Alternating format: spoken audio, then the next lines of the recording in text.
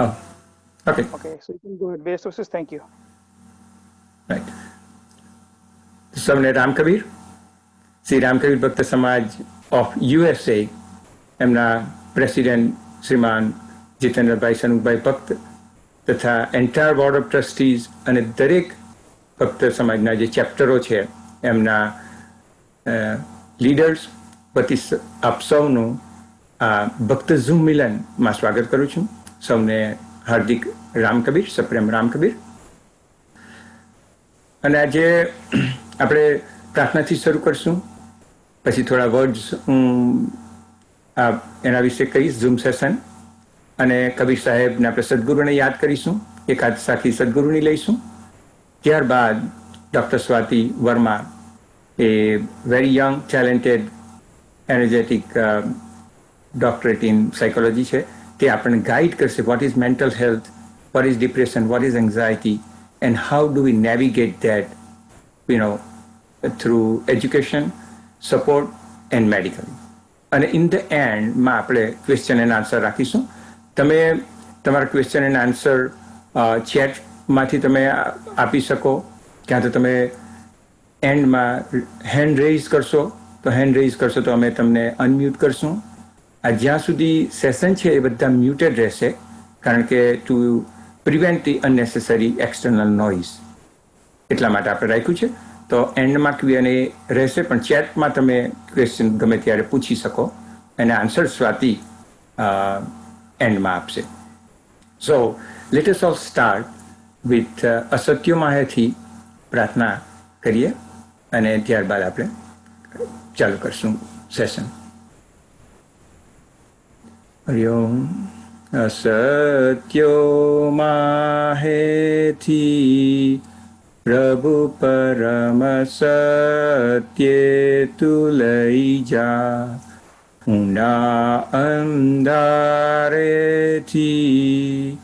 प्रभुपरमते जा महामृत्यु माथी अमृतसमीपे नाथलई जा तुम्हीणो हूँ छूँ तो तुझ दर्शना दान दई जा तुझ दर्शना दान दई जा And we pray for all those who we have lost, all our loved ones we have lost, the humanity have lost, all those who are suffering, and those who are uh, fighting for us in terms of uh, medical staff, medical doctors, and entire support system. So let us pray for their well-being. Hari Om.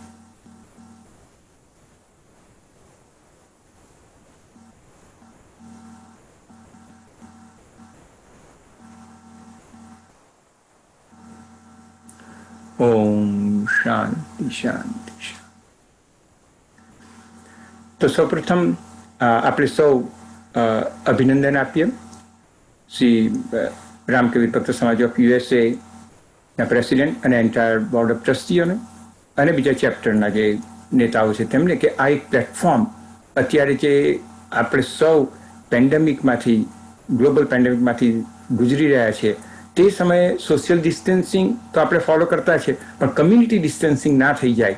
કે આપણે એકબીજાથી એટલા બધા જુદા પડી જઈએ જે આપણે પહેલાથી મળતા અને સોશિયલ ગેધરિંગ થતું, એ બધું બંધ થઈ ગયું. તો કમ્યુનિટી ડિસ્ટન્સિંગ ના થઈ જવું જોઈએ. તો તે જે શરૂ કર્યું છે, તો આમાં આપણે એકબીજા સાથે રહીએ અને એકબીજાને જોતા રહીએ. તો શું થાય કે એક અનચાર્ટેડ ટેરિટરી છે પેન્ડેમિક તેમાંથી આપણે સારી રીતે એ કરી શકશું અ, કારણ કે અત્યારે આપણને ખબર છે કે આપણે જન્મદિવસ બધાને ખબર છે પણ મૃત્યુનો દિવસ આપણને ખબર નથી અત્યારે જ આપણા એક સમાજના સેવક શ્રીમાન દિલીપભાઈ અ, અ, ભીખાભાઈ ભક્ત અ, બાજીપુર આપણે ગુમાવ્યા એ ચાલતા ચાલતા હોસ્પિટલ ગયેલા પણ he did not come back so it shows કે life is very fragile especially these days when pandemic is going on. At least let us get, uh, you know, educate ourselves, also entertain ourselves, and keep togetherness as a community.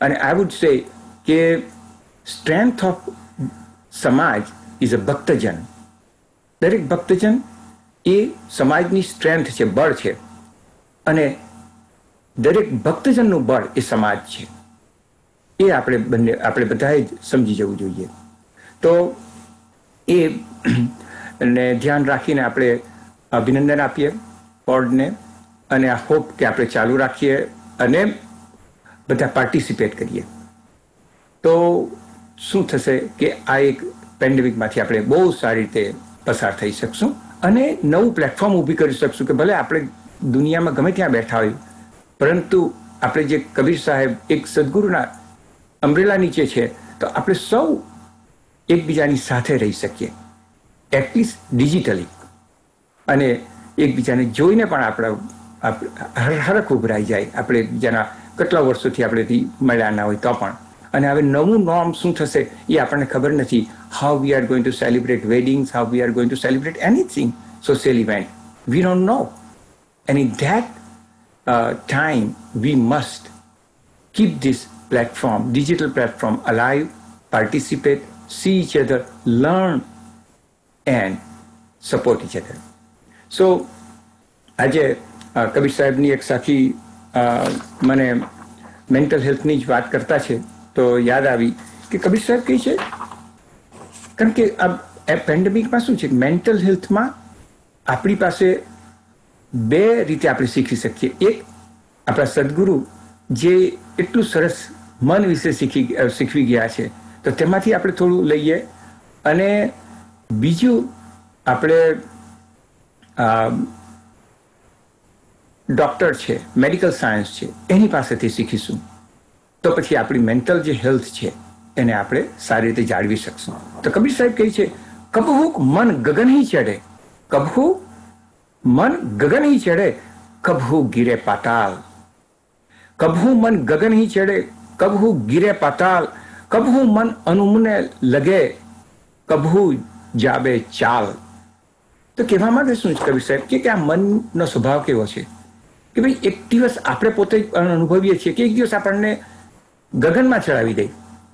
આપણે જાણે એટલા બધા એમ smart છે કે હોશિયાર છે કે જે રીતે બધી રીતે આપણને જે કંઈ અંદરથી આપણને એવો ભાવ લાવે એબાઉટ અવર સેલ્ફ કે ગગન પર ચડાવી દે. અને પછી બીજી ક્ષણે એવો વિચાર લાવે, એવો ભાવ લાવે કે આપણને પાતાળમાં ઉતારી દે. કે ભાઈ, મેં જીવનમાં કશું કર્યું નથી. કે હું એમ આઈ લાઈક આ આનું બધું શું છે એમ? કે I am not worth it I am not good enough you know અને એ જે એની સ્વભાવ છે, તેની વાત કરે છે. કભું મન અનુમને લગે એમ કે કઈ વાર કોન્સન્ટ્રેશનમાં આપણે કોન્સન્ટ્રેશન તરફ જઈએ, તો કઈ વાર આપણે કભું ચાબે ચાલ કે સંસારિકમાં જ આપણે અટવાઈ જઈએ. એવા વિચારમાં આપણે જતા રહીએ. તો જે મનનો સ્વભાવ છે કે એક દિવસ ગગનમાં લઈ જાય અને બીજે દિવસે પાતાળમાં લઈ જાય. અને પછી ઘણીવાર કોન્સન્ટ્રેશન સારી જગ્યાએ કરાવે કોન્સન્ટ્રેશન ખરાબ જગ્યાએ કરાવે ફોકસ આપણું અને સંસારિકમાં પટાવે તો આપણે જોવાનું કે ઇવન આપણે એ, એને શું કહીએ, ગૌતમ બુદ્ધ કહેતા કે the whole function of the body the entire main function of the body is to carry the mind around because through the the mind, experience interpret and contribute of course આપણે હાથો use કરીએ પણ body એ માઇન્ડને અનુસરણ કરે છે. તો આપણે કેવી રીતે એને ચાલુ રાખીએ? તો આજે ડૉક્ટર સ્વાતિ વર્મા છે. એ તો મેડિકલી આપણને શીખવશે. પરંતુ મેન્ટલ હેલ્થ સાચવા માટે આપણું યોગ સાયન્સ એટલું બધું સરસ કહી ગયું છે. જે પતંજલિ યોગ એને આપણે યોગ સૂત્ર કહીએ Bible A it's a wonderful thing if we follow that then we can keep our mind control કારણ કે શું થાય કે આપણે યુનિવર્સિટીમાં જઈને આજે ફોર્મલ એજ્યુકેશન તો લઈ શકીએ છીએ. પરંતુ કોઈ પણ જગ્યાએ આપણને આપણી માઇન્ડ કંટ્રોલ માઇન્ડ કેવી રીતે ફંક્શન કરે એ બતાવ, કોઈ શીખવતું નથી. આજે આપણે ફોન લાવીએ તો એની એટલી મોટી ઇન્સ્ટ્રક્શન બુક આવે. પણ આપણે જન્મ લઈએ ત્યારે આપણી કોઈ માઇન્ડ વિશેની ઇન્સ્ટ્રક્શન બુક આપણને મળતી નથી. સો સદગુરુ છે, આપણે યુનો કબીર સાહેબ છે, કે બધા બીજા બધા ગ્રંથો છે, એમાંથી આપણને મન વિશે ઘણું જાણવાનું મળે. અને આપણે જો પ્રેક્ટિસ કરીએ યોગ સાયન્સની, તો we can control from that side અને જ્યારે જ્યારે મેડિકલ સાયન્સની હેલ્પ જોઈએ, ત્યારે આપણે મેડિકલ સાયન્સની હેલ્પ લઈએ. આપણે જોયું કે અત્યારે દક્ષિણ કેલિફોર્નિયામાં આપણી એક બ્યુટિફુલ યંગ દીકરી નીમાને ગુમાવી. તો એ એક પોસ્ટમોર્ટમ ડિઝીઝ મેન્ટલ હેલ્થનો ઇસ્યુ તેમાં ગુમાવી. પરંતુ જે બીજી બધી મેન્ટલ હેલ્થ જે ડિપ્રેશન એન્ઝાયટી હોય અને આ પેન્ડેમિકમાં વધી જાય છે, સ્વાભાવિક રીતે. કારણ કે financial loss social loss family loss આ થાય, એ બધાને લીધે આપણી મન પર ગંભીર અસર થાય. તો આપણે એને કેવી રીતે સાચવીએ? શરીરને સાચવતા તો આપણે શીખી ગયા છે, પણ મનને, તો mental immunity is very very important કારણ કે પેલી ઇમ્યુનિટી ફિઝિકલ ઇમ્યુનિટી તો આપણને ખબર જ છે, સારો ખોરાક ખાવ એક્સરસાઇઝ કરો. પણ મેન્ટલ માટે તો આપણે પ્રાણાયામ છે, એ બધું કરીએ. હજી આપણે feeding what are we feeding our mind constantly negative news જો ચાલુ રાખીએ, તો માઇન્ડ એને પકડી અને સબકોન્શિયસમાં લઈ જાય અને પછી આપણા પર અસર કરે. એટલે એ કોન્સ્ટન્ટ નેગેટિવ ન્યૂઝ આપણે સ્ટોપ કરવા જોઈએ ગોસિપિંગ બધું બંધ કરવું જોઈએ. પ્રાણાયામ જે ભાઈ કેટલા બધા બધા, એની તો બધાને જ ખબર છે, આપણે તો દેશથી આવેલા છે. મેડિટેશન રિલેક્સિંગ મ્યુઝિક તમારી સાઉન્ડ સ્લીપ કેવી રીતે વધારવી? તેના માટે તમે કરી શકો. ગ્રેટિટ્યુડ તમે ગ્રેટફુલ શા માટે છો? આજે આપણે વિચાર કરો, પચાસ વર્ષ પહેલાં, ચાલીસ વર્ષ પહેલાં આપણે બધા ખેડૂતના દીકરાઓ હતા, દેશમાં હતા, ત્યાંથી અહીંયા આવીને કમ્ફર્ટ અને લક્ઝરીમાં જીવતા છે આપણે આજના જમાનામાં. તો આપણે so much grateful to the Sadguru's blessing and our hard work and our hard work of our forefathers એને ભૂલવું નથી જોઈતું આપણે. Prayers meditation relaxing music inspirational એ બધી વસ્તુને લીધે આપણે માઇન્ડને જો ફિટ કરશું, તો મેન્ટલ હેલ્થ રહેશે. તો હવે હું વધારે સમય નથી લેતો. પણ અભિનંદન. એન્ટાયર બોર્ડને અને કબીર સાહેબને આપણે હંમેશા દરેક સામાજિક પ્રસંગે યાદ કરીશું અને એમાંથી કંઈ શીખીશું, એને આપણે મેન્ટલી સમજી શકશું, હૃદયમાં ઉતારી શકશું, અને પછી હૃદયમાંથી આપણા દૈનિક જીવનમાં આપણે કેવી રીતે એને એપ્લાય કરીએ કારણ કે દરેકના ઘરમાં ગાદીમાં ફોટો છે કે સંસ્થાઓમાં ફોટા છે કે મૂર્તિ છે. પણ એને આપણે આપણે દૈનિક જીવનમાં કેવી રીતે લાવી એનો પ્રયાસ આ બોર્ડ કરે છે.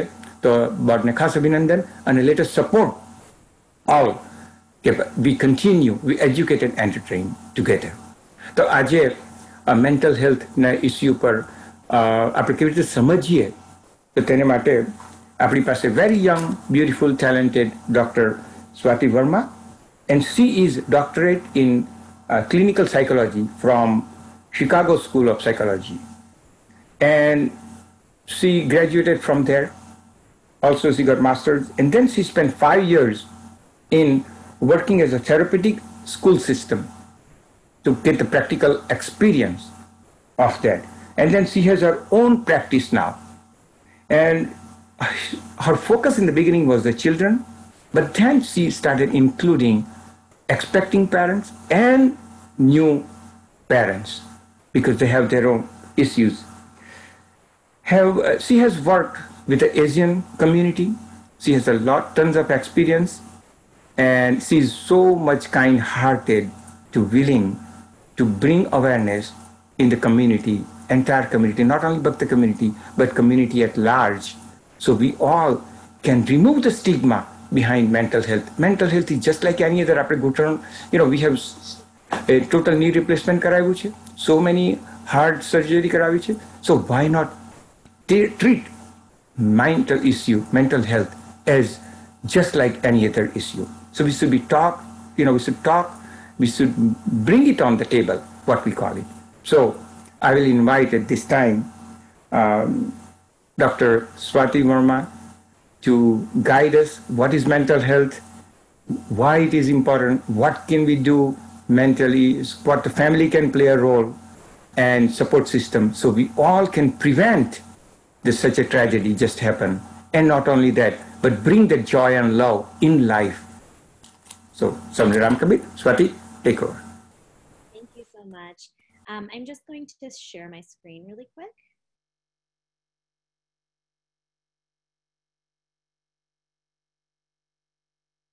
Okay. Well, thank you so much for having me. Um, I wanted to just start off by sending my deepest condolences to the Bhakta family and community for your loss of Nima. Um, I did not know her personally, but I do hope that her story can help spread awareness, get us talking like we are today um, and just inspire the much needed awareness of mental health as well as removing the stigma that we often experience in our South Asian community. Um, so I thank you very much for the introduction. Um, I will go over a little bit about myself. As you just heard, um, I did graduate, I'm from Chicago, Illinois. I graduated with my doctorate in clinical psychology in 2015. Um, I did spend five, about five years working in therapeutic day school settings, which are um, basically private schools for kids who have a hard time um, emotionally and behaviorally in a regular public school. So these schools kind of um, focus in on that and help out those kids with special needs. Um, currently, alongside um, working in the schools about two years ago in 2018, I started my own practice. Um, for the most part, my, my um, specialty has been working with children and adolescents. Um, until about a year ago, I actually was pregnant myself. Um, and I started to realize the need for, especially for minority therapists, to be able to work with expecting and new parents. so that sort of has become a lot more of my focus in the last year. Um, okay, so I wanted to just start off with um, very basic level, what is mental illness? Um, I will go a little bit more into specifically into anxiety and depression as those are the two most common mental illnesses. Um, but let's start with just what is mental illness? Um, so mental illness are health conditions that involve changes in emotion, thinking, or behavior, um, or a combination of these. And they're often associated with distress and her um, problems functioning in social, work, or family activities. So, one of the biggest things with mental illness is that um, it impacts all areas of a person's life. So, it impacts their day to day living, um, their ability to go to work, go to school, those types of things, um, or even just interacting in social settings. How common is mental illness? Um, in a given year, nearly one in five, which is about 19% of US adults experience some form of mental illness. One in 24% has a serious mental illness, which um, this is defined as a mental, behavioral, emotional disorder, not including developmental or substance use disorders, which result in severe fu uh, functional impairment and again affect uh, major life activities and experiences. So some examples of these are major depressive disorders, schizophrenia, and bipolar disorder. And again, we'll go a little bit more into what um, some of those in just a few minutes. And then finally, one in 12, which is about 8.5% of the population, has a diagnosable substance use disorder. So this would be something like um, addiction to drugs and or alcohol. So I will go over quickly just some of the most um, common types of mental illness. And then, like I said, I'm going to focus a little bit more on mood disorders and anxiety disorders. Um, so for now, I'll just kind of describe what those are. Mood disorders include things like depression, bipolar disorders, um, and then anxiety disorders have um, a lot more under the umbrella, which include panic disorders, um, obsessive compulsive disorder, uh, social phobias, specific phobias, things like that. Um, so I'm going to save those two for, um, for us to kind of go over a little bit more in depth. But just before we do that, um, so we have an understanding of just some of the other disorders that are out there. Um, there's personality disorders, which are described as a pattern of varying mood, self-image, and behavior. Um, the biggest thing about personality disorders is that they tend to significantly impact our relationships. So relationships with loved ones, relationships with um, friends, family, things like that.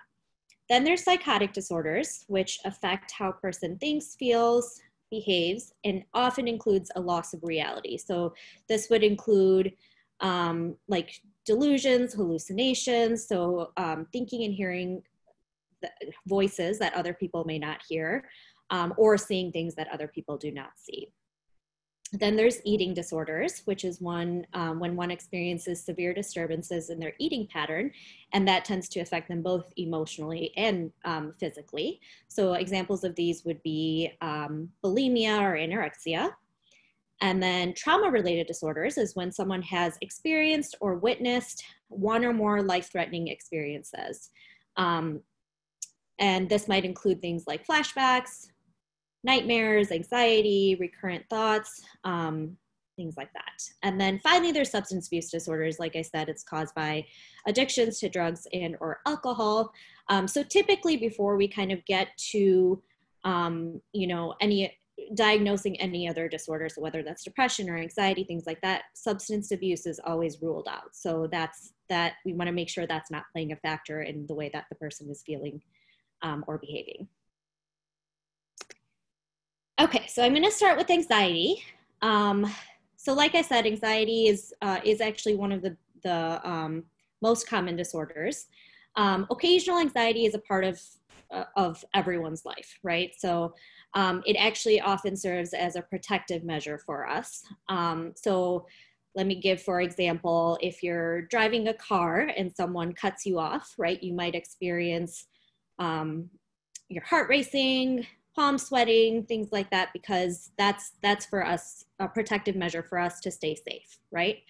Um, but what anxiety disorders, when it becomes a little bit more problematic, is when that temporary worry or fear, those kind of feelings that you get when someone cuts you off, those are hard to, those don't go away um, as easily, right? And they come a little bit more frequently.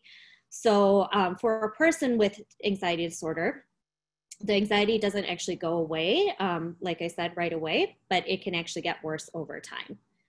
Um, the one that I will focus a little bit more on is generalized anxiety disorder. This is kind of the most, um, again, common overarching anxiety disorder. And here are just some of the um, symptoms that come with that. Feeling restless, on edge, being very easily fatigued, um, having a hard time concentrating or the mind going blank, this one is actually interesting because I do see this a lot more, especially with kids, children, and adolescents, is that having difficulty concentrating. Um, a lot of times people will come and, you know, be diagnosed with ADHD or say they have, you know, they're not able to do work. Um, so it's important to kind of rule out is it ADHD and difficulty concentrating, or is it that they're having anxiety and thinking about other things because of the anxiety? Um, and then other symptoms are being irritable, having muscle tension, um, difficulty controlling uh, worry, feelings of worry, um, and then sleep problems. So either a hard time falling asleep or staying asleep, a restlessness, waking up frequently, um, unsatisfying sleep. How common is anxiety? Um, it's actually the most common disorder. So um, it affects 40 million adults in the United States, 18 and older. Um, they're highly treatable, yet only 36.9% of those suffering actually do receive treatment. Um, people with an anxiety disorder are three to five times more likely to go to the doctor and six times more likely to be hospitalized for psychiatric disorders than those who do not suffer from anxiety disorder. Um, going to the doctor is actually a very common, uh, we'll talk a little bit about signs um, that we can pick up on for people who are experiencing anxiety. But going to the doctor for physical complaints is actually one of the most common things that we see initially when it comes to anxiety. So that might be headaches, stomach aches, um, things like that. And then anxiety disorders develop from a complex set of risk factors, some of those including genetics, brain chemistry, personality, and life events. Okay. And then um, a little bit more about depression. So depression is also one of the most common um, mental health disorders. So uh, typically we see this, again, similar to anxiety, sadness is a part of life, right? That comes and goes and a very normal feeling. Um, but when we see this sort of depressed mood for longer than two weeks, that includes some of these um, some of these symptoms that I will be talking about. That's when we know it might be a little bit more than just sadness. So some of these symptoms might be persistent sad, anxious, or sort of an empty mood. Um, feelings of hopelessness, so not really having things to look forward to or being excited about things um, that might be coming up. Uh, pessimism, irritability, feelings of guilt, worthlessness, or helplessness. Um, a loss of pleasure in things that you typically feel very excited about, right? So if you um, love doing yoga and you just don't have an interest in doing that anymore, that might be a sign. Um, you know, things like that. Decreased energy or fatigue. So, uh, sleep, as far as sleep is concerned, it can be uh, an increase in sleep for when it comes to depression. Um, moving or talking slowly, feeling restless or having trouble sitting, again, difficulty concentrating, remembering, or making decisions, like we sort of talked about with anxiety. Um, appetite or weight changes, thoughts of suicide or death. Um, and again, when it comes to sort of that physical piece of it, a lot of aches or pains. So that can be headaches, cramps, um, digestive problems. And typically, when you go to the doctor and you get tests done, you're not really finding anything physically, you know, going on. That that might be a sign that something else emotionally might be going on. As far as depression is concerned, it's um, again very common. Globally, more than 264 million people of all ages suffer from depression. It's actually the leading cause of disability worldwide um, and a major contributor to overall global burden of disease. Um, more women are affected by depression than men, um, but men are also affected. It can lead to suicide, and then there's also a lot of psychological and pharmacological treatments um, for moderate and severe depression. So, for both of these, anxiety and um, depression, one thing to kind of keep in mind is that there are there are treatments out there. There are things that can help.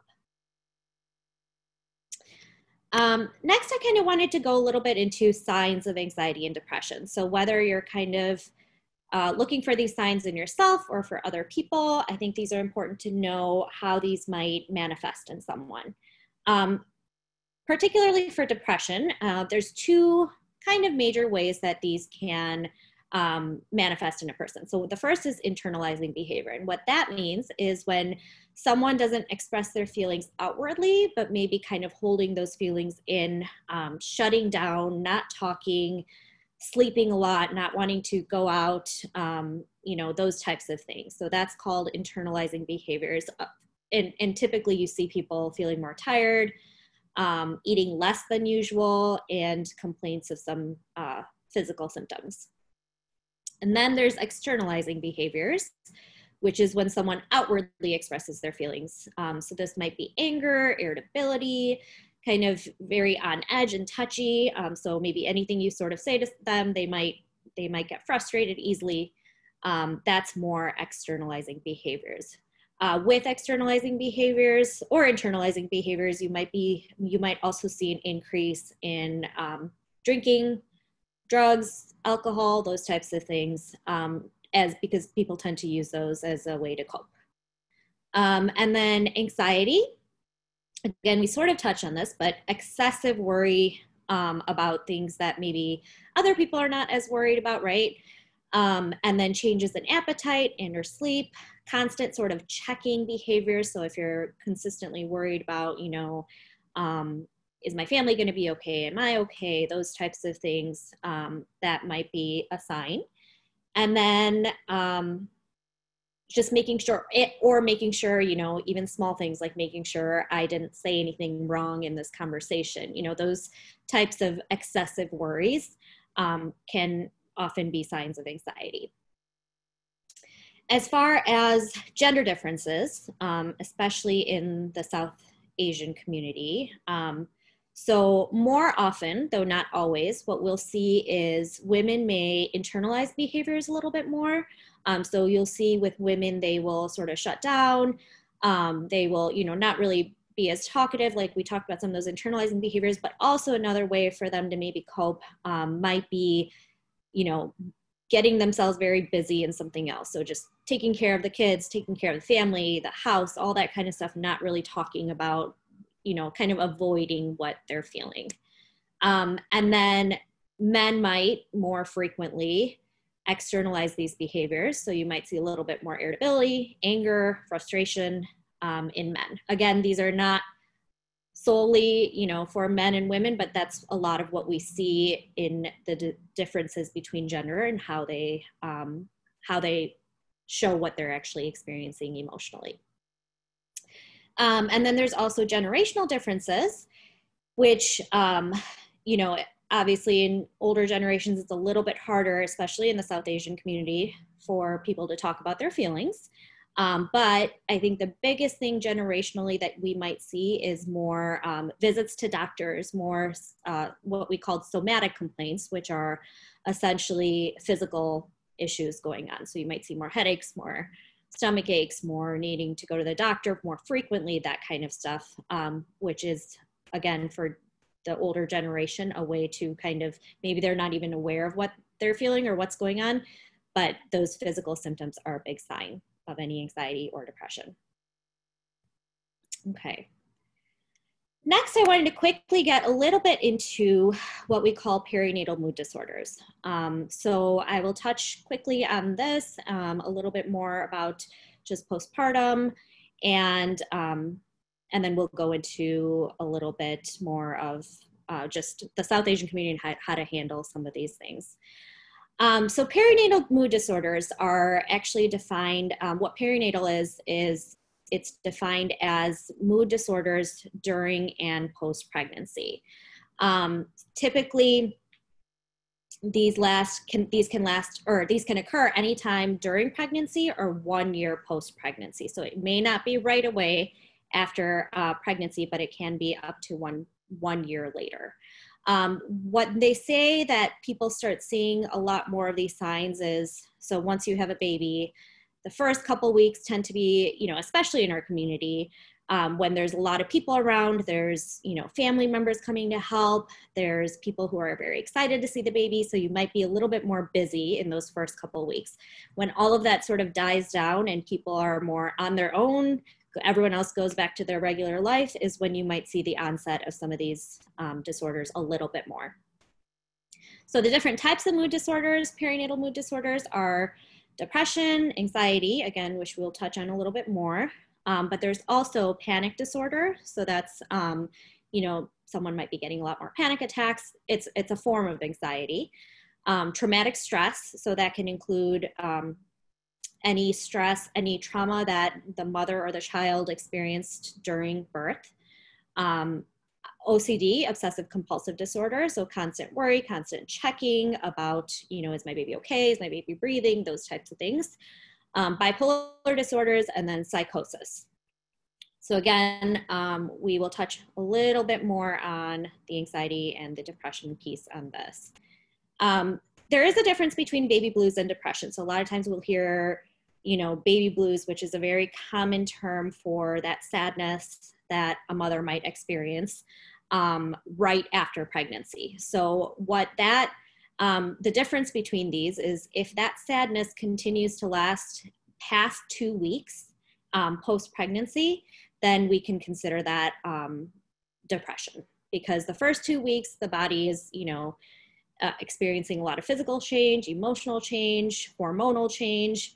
Um, and you know that it makes sense a little bit more why you're you might experience some of that sadness but if that continues to go on past two weeks then it's considered depression. Um, a couple more facts about this. One in seven mothers experience postpartum depression or anxiety and um, it's not only limited to mothers. So one in 10 fathers actually experience postpartum depression too. Um, they can also experience anxiety panic disorders all the other perinatal mood disorders. So it's not just limited to mothers. Um, suicide is one of the three leading causes of maternal death. Um, and unfortunately, these are not talked about very much. These disorders in general are not talked about very much, um, but especially post pregnancy. So, etiology, which um, essentially means what are some of the causes of perinatal mood disorders? Um, some of the biggest ones are physical. So, there's a genetic component to it, right? So you're more likely to experience some of these things if there's family members who might have experienced some of these disorders. Um, hormonal changes, uh, women's bodies go through a lot of different hormones um, during and post pregnancy. Psychosocial factors, so these include people who don't have a lot of support, not a big um, support network, maybe someone who moved away from their family, their friends. Um, that can increase the possibility to get some of these a little bit more then there's this you know perfectionism this this kind of mentality that um, you know the super, superwoman mentality as they call which um, essentially means that mentality that you know you can kind of get back to everything you were doing before pregnancy quickly you're supposed to physically bounce back fast um, take care of the baby know how to be a mom or a dad right right after having a kid um, some other stressors include sleep disruption. So, um, obviously, a lack of sleep when a baby is born, poor nutrition, so not putting yourself first when it comes to eating, maybe forgetting to eat when you have a baby because you're so busy and focused on the baby. Um, any health challenges that a baby or mom experiences during um, or post pregnancy. Any other interpersonal stress, so the stress that may be caused by, um, you know, relationships, things like that, that, uh, you know, having a baby might add to and then cultural stress and barriers. So um, we talked a little bit about gender roles, but basically that means this sort of um, understanding that women are kind of inherently meant to know how to take care of a baby. Um, and then with men and, as well, sort of that stress of needing to provide for the family, being the breadwinner, those types of things. Okay. Um, so, a couple um, notes on just signs of postpartum depression and anxiety. Like I said, it's important to kind of um, evaluate these not just after having a baby, um, but during pregnancy, as well as particularly more if, if these are occurring more than two weeks post pregnancy. So these are similar similar signs as you know general depression and anxiety, but a couple a couple things that are different. Um, so for depression, that sadness, a lot of crying, feeling overwhelmed, irritability, agitation, anger, um, sleep disturbance. Obviously, that one's a little bit harder to kind of um, kind of distinguish because new parents do sleep less. Um, but if that becomes more chronic and an inability to sleep or sleeping too much, that might be a sign. Uh, mood swings, apathy, which means kind of this mindset of not caring, um, not really, you know, not really investing too much energy in anything, that kind of stuff. And then exhaustion.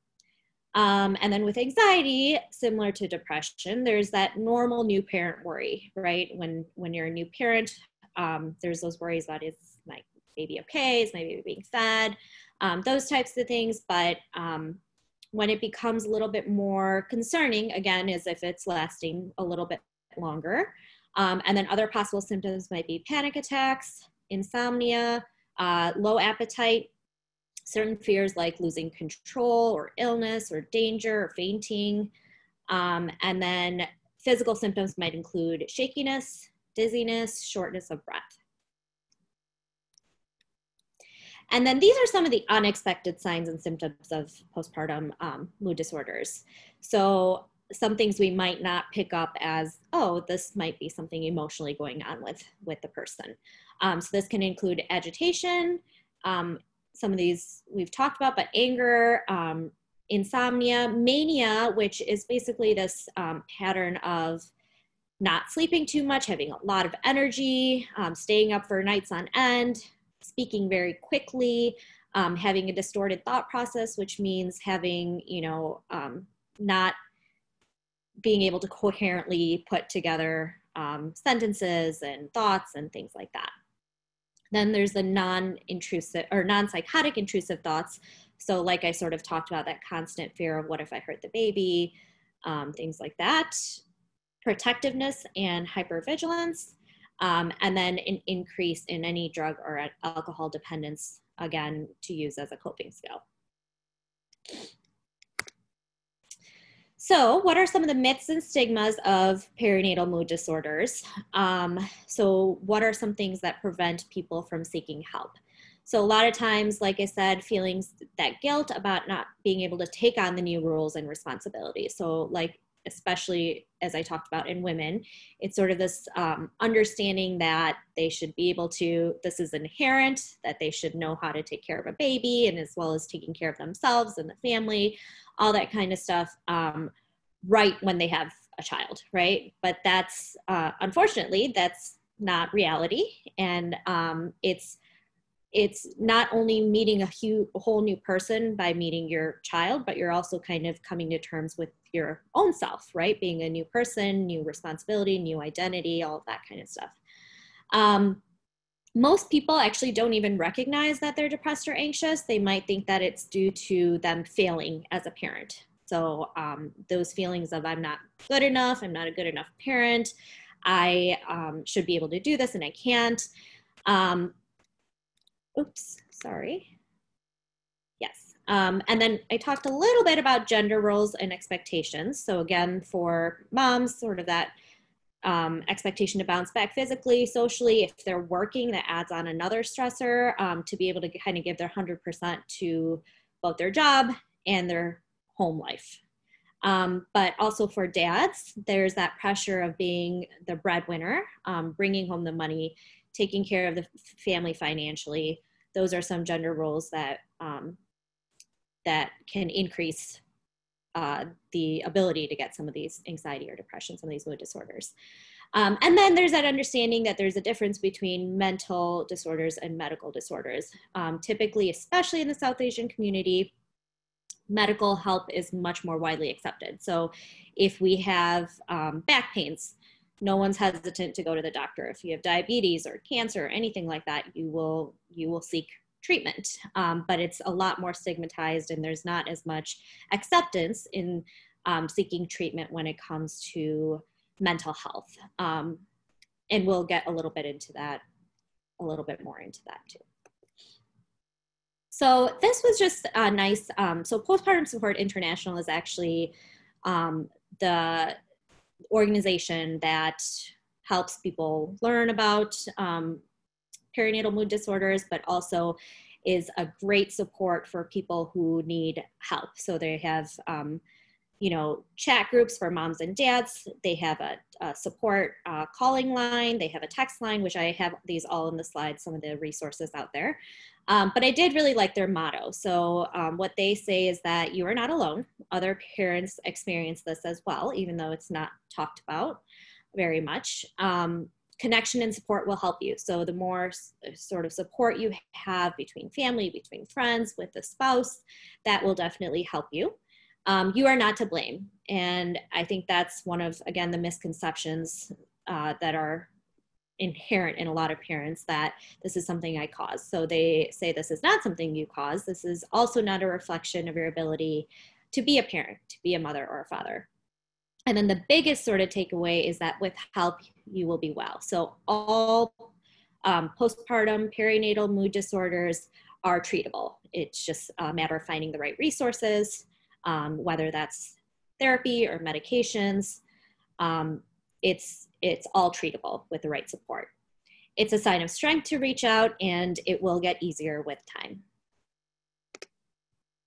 So I wanted to um, kind of give some resources. Like I said, I wanted to also give some hope, as I just talked about, that these disorders are also treatable um, and don't last forever. And the biggest things can be therapy and medication that can help. Um, and obviously, this is something to talk to one's doctor about, but there are many medications that are safe um, even while breastfeeding. And I know that's a big, big reason why people might you know not want to get treatment or not want to take medications but there are a lot that are safe for um, the mother. And then these are just some resources out there. Like I said, they have uh, a 1 800 line that is sort of a hotline that can help with um, not only just the individual, not just the parents, but also provides direct support for the family as well. Um, then they also do consultation groups for moms and dads. And then um, there's also a text line that you can text to get some um, more immediate support when it comes to perinatal mood disorders. Okay, so um, I wanted to touch a little bit on just the South Asian community. I know that's part of why we're here and um, why there's so much resistance in kind of getting help um, when it comes to mental illnesses.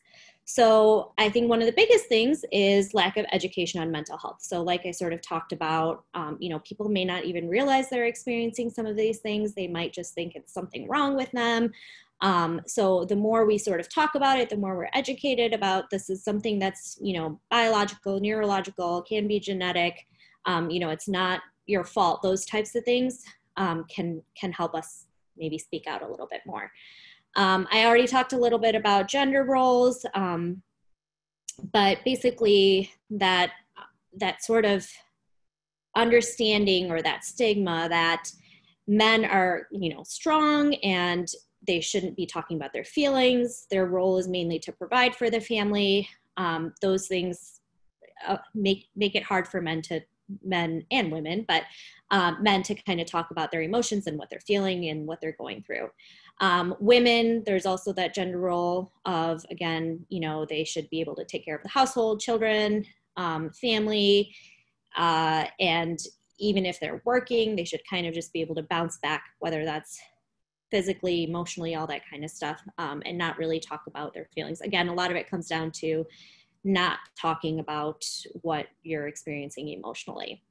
Um, there's also a myth that asking for help is a weakness, which I think is one of the biggest things um, that comes up comes in the way of getting help.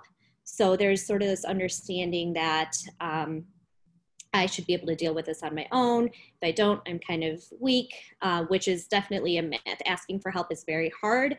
It requires a person to be vulnerable, um, and it helps save lives. So instead of kind of seeing it as a weakness, I think we should start seeing it as a strength because it's very, you know, it's hard to do, but it's it's how we help each other. Um, and then there's this belief in the South Asian community that problems should stay within the family. So you shouldn't be talking to medical providers or mental health providers about things that are going on in the family, whether that's family dynamics, whether that's something that's personally going on with you. Um, and then I touched on this a little bit, but just that difference in views of medical versus mental health. Um, I think it's important to understand that mental health does have a very genetic biological component to it. So it's not something that, you know, it can just go away if you stop thinking about it or if you try hard enough. Um, it's very similar to any medical um, issues that we come across, whether that's, again, diabetes, cancer, back pain, leg pain, all that kind of stuff. We're, we're okay with asking for help with that. Just as similar to that, we should be okay with asking for help when it comes to mental health. I like to kind of see it as just a different part of your body that you're treating. So, you know, whether it's um, instead of having back pain, treating the back, you're treating the brain, right? Which is a, a very vital part of your body. Um, oh, and then the last thing, sorry, is because of just these concerns, there's a lot of shame, there's a lot of stigma, um, we feel judged often, and that creates some guilt and even wanting to ask for help or talking about it. So, what can we do to help? Um, the biggest thing takeaway that I would like to say is let's start normalizing conversations. Let's talk about mental health. Um, create that space so that people don't feel judged or um, feel comfortable in talking about how they're feeling. So, part of that can be asking questions to each other.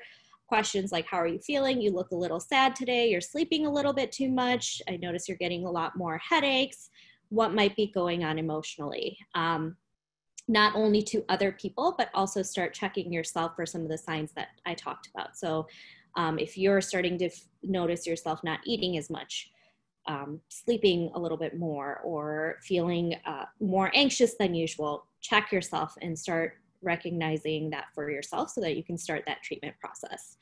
Um, breaking gender roles. Everyone has feelings and everyone needs to work on self care, um, whether you're you know any gender um, it's important to first take care of yourself otherwise it's very hard to take care of the people around you um, and that includes taking time for yourself uh, and then let's not judge other people so if someone's coming to talk to you about their feelings let's try to create that like i said open space for people to talk about and then lastly how do therapy and medications help so therapy is um, basically a more frequent treatment. So it's usually about once a week. Um, it would would be typical for therapy, uh, where you kind of go and talk to someone about about your feelings and what how you're doing. Um, so what this helps with is provides us a non-biased person to talk to. So often, if we kind of go to our family members and we say, you know, this is what's going on, you the family members or the friends they have a biased view and won't won't necessarily be able to see everything clearly because they're related to you. Um, so having someone who's kind of outside of that circle, being able to look in and put together the pieces is part of what therapy does. Um, it also helps us organize our own thoughts, feelings, behaviors. So connecting how maybe some of our feelings are leading to us, our behaviors, those internalizing, externalizing behaviors I was talking about.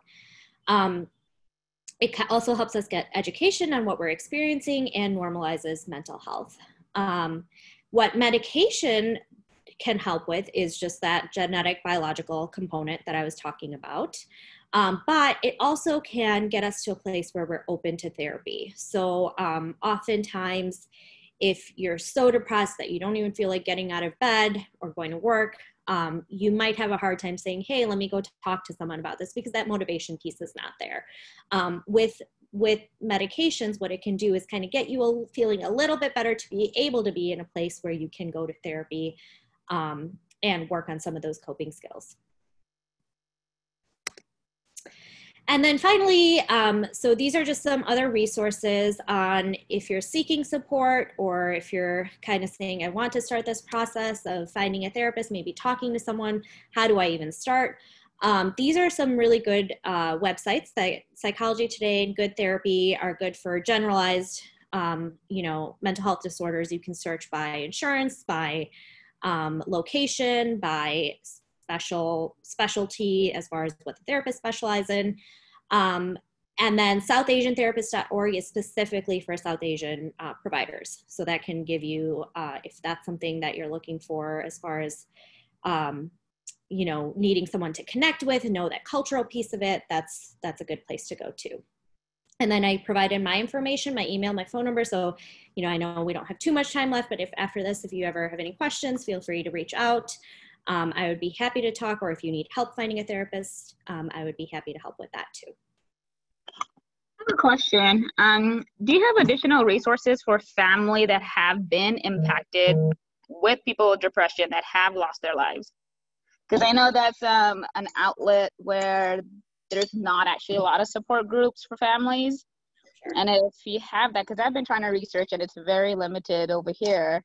Mm-hmm. Um, but if you could provide that in the link or the information that you're going to send out to the yeah, um, I can definitely send some resources. Um, if you wanted to actually, my email is on there. If you wanted to email me, um, I would be happy to send you some things along. That would be great. Thank you. No problem.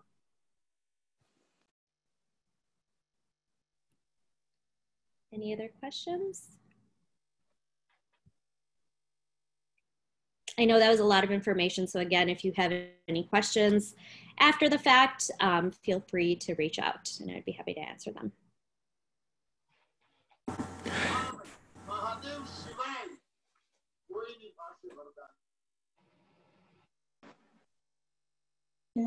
I have a question. Mm -hmm. Mm -hmm. Um, so let's say you are uh, have anxiety or mild depression um, what are some things to help uh, alleviate that? I know like exercise would be one, mm-hmm. but are there any like vitamins or over the counter um, herbs or anything that could help, um, you know, with that mental state? Right. Um, so my area is medication. Um, I do more therapy, um, but I would say even starting with talking to, um, you know, a a medical provider about some of these things that you, you're going through. They might be able to help you out with the medication piece of it. Like you said, exercise is great. Um, deep, a lot of the breathing exercises, so um, deep breathing or even yoga, um, something that kind of clears your mind. There's a lot of different like uh, meditations out there. I like to usually start with um, like guided med- meditations because those give us a little bit of a framework to kind of work with um, when it comes to starting with meditation. But meditation, yoga, physical exercises, deep breathing, all those things can help um, alleviate some of that. If you're still starting to experience some of that. I would say even even. Thank you.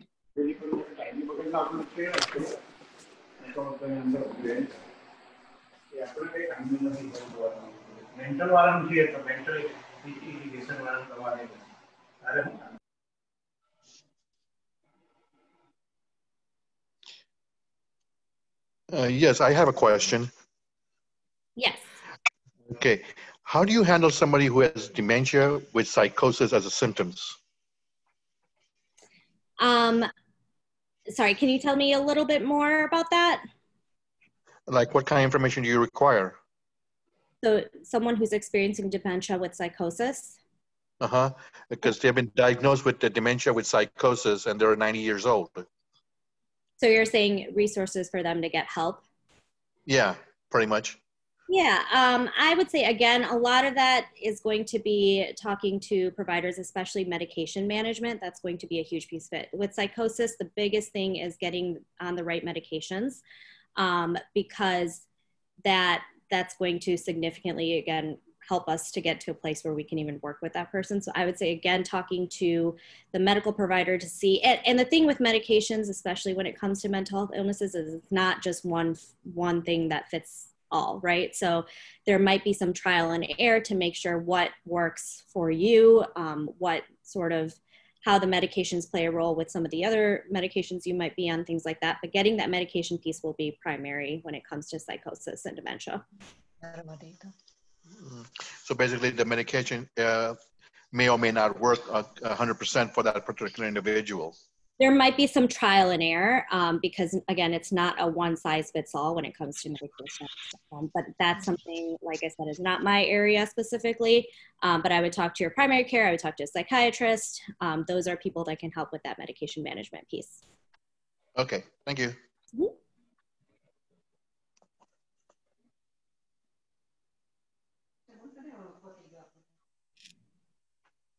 And I just saw someone asked to share my contact information. I will go ahead and do that right now.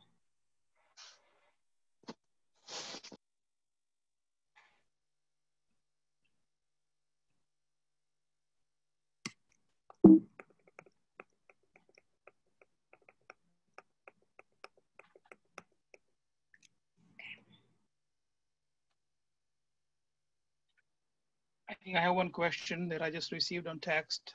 Mm-hmm. Uh, how do you overcome community fears and find somebody to talk about your personal issues? Okay, yeah, that's a great question. Um, so that's that's something that again I was sort of referring to as far as as a community. Um, that's something that talking and and asking people how they're feeling that can kind of open up that line of communication um, where people feel comfortable talking about the, some of those things, right? However, if you don't feel comfortable sharing that with it with the community, I think a great some a couple great places to start is those websites that I actually have up on the screen. So Psychology Today, Good Therapy. Um, confidentiality is huge when it comes to um, mental health issues, um, all medical issues, but uh, you can seek therapy, especially in this day and age with the with the pandemic. Um, you can seek therapy. Even most uh, therapists are actually doing telehealth, so even uh, without letting anyone know, you can kind of do that on your own too, um, if that's something that you're concerned about as far as the stigma and all that kind of stuff is concerned. So I would say start with maybe those uh, websites that I have up there. Um, and, and again, with finding therapists, I think it's similar to medication. It's going to be who you feel most comfortable with. You might find someone that you start talking to and it's just not the right fit. Um, it's okay to kind of change to another provider if it's just not working for you. Great, thank you. Mm -hmm.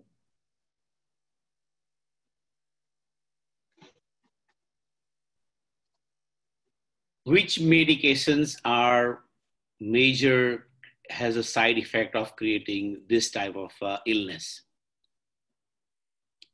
All, uh, all medications has a side effect. So which could be the major one that creates this type of illness? Yeah. Um, again, I said, so like I said, medication is actually not my area of expertise. Um, so if you're concerned though about any of the side effects that your medications might be having, I would say talk to your doctor. So the difference between, so I'm a psychologist, um, which I do the therapy piece of it. So I do more of like the once a week talking to people, helping them, like I was sort of referring to, helping them through, through their thoughts, feelings, behaviors, giving coping skills.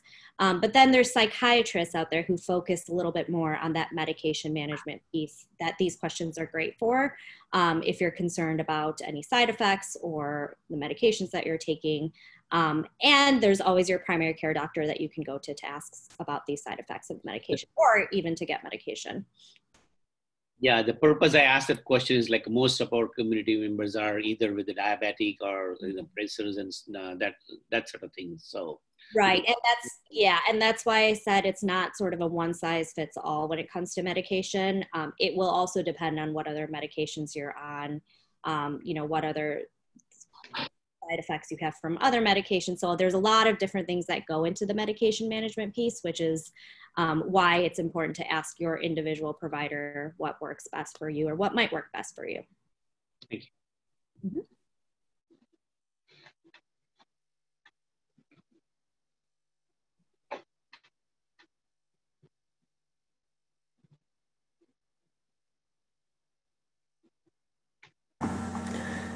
Uh, there are no other questions, you may do the conclusion and vote of thanks. Sure. Uh, I'm Kabir. First of all, uh, thank you, Dr. Swati Verma. I think uh, you have opened my eyes personally. I can say that I learned a lot. Uh, thank you for your time and in helping our community. We greatly appreciate it and hopefully we can do one more session with you with our youth. This was prepared in last three days, but I think uh, we need to do one more because I feel like uh, I'm connected to you now through yeah. certain issues personally. So I think we will do one more session if you are okay with that. Uh, secondly, as I stated, you know, in a short notice, uh, first of all, this idea came from our youth committee.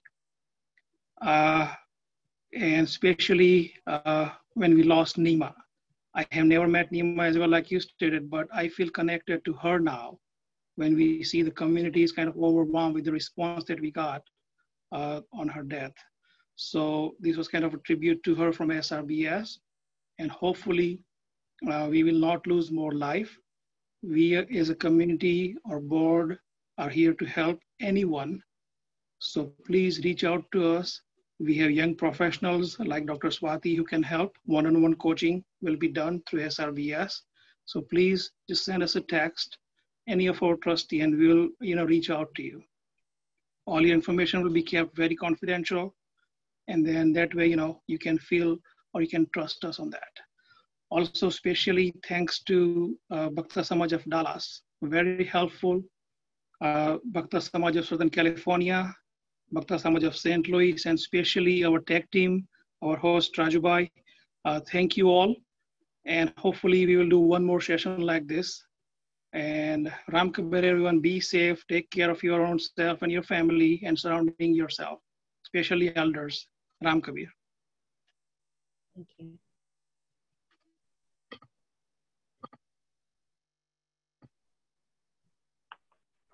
Um, Dr. Swati, we, we got one more question. What can community do to less the type of illness? I'm sorry, that one more time? No, we have one more question in the chat. Uh, what can community do to less the type of illness?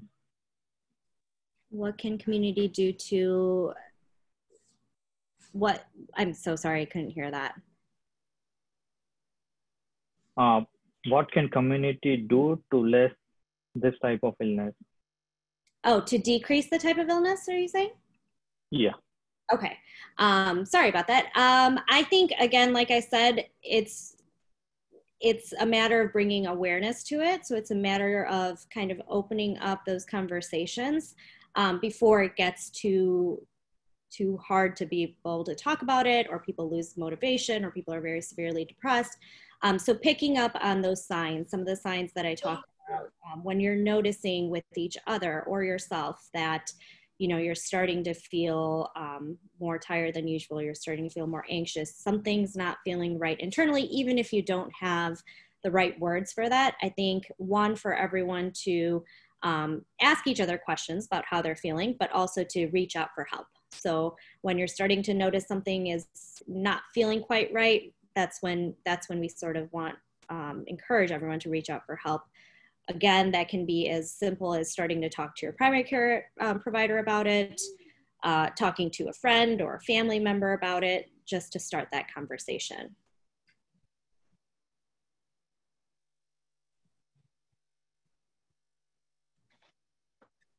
Thank you. Thank you.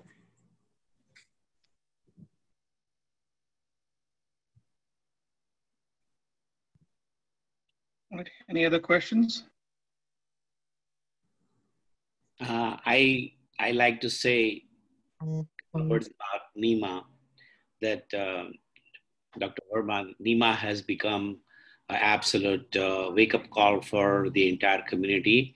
As a matter of fact, uh, in India, it's much, much more uh, voice, much more uh, awareness is uh, spreaded by Nima's death. Many articles are printed in many different languages across the country, and it has become uh, significant, uh, like perhaps I would say, her her sacrifice. I would I'm going to use the word sacrifice of her life to bring the awareness. Like today, this morning, that you are with us here. We we don't know you, but now we know, and she is the instrumental. So it has given us a, a, a bigger picture, bigger light, the danger out there. Many other communities are also seeking into the education of uh, this particular illness. So be be uh, on a on a ready to receive some more phone calls from other communities. I, I just want you to know that. Thank mm-hmm. you so much for that. Thank you. And your your insight, uh, very depth insight on each and every bullet point was very detailed, and I have taken note of that. Thank you so much for your wonderful uh, education to us. Thank you. Thank you so much for having me. And um, again, I send my condolences to the family, to the community for Nima, um, but I am glad that we're able to have this conversation and get some of these, some of this awareness um, out to the community as well. So thank you, thank you again for having me. All right, thank you all once again. Uh, uh, people watching, uh, especially, give us your feedback, any question, concern you have. Uh, we have a website. You can uh, open bhakta.com, send us your feedback to the website.